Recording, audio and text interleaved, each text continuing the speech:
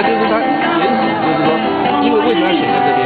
因为他成立的街道的时候，正好是一个兵荒马乱的时候。对，因为他这个建造年代里面，正好碰到海盗蔡牵那个横行那个浙江、福建广东沿海，他有十几年时间在这边骚扰蔡牵。牵